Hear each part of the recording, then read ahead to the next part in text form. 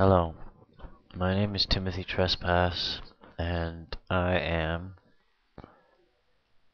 a targeted individual. Uh, I'm making this video because I think it's very, very important that the rest of the world understand and know exactly what is happening. Uh, I never thought I would be in a position to know some things that the rest of the world needs to know.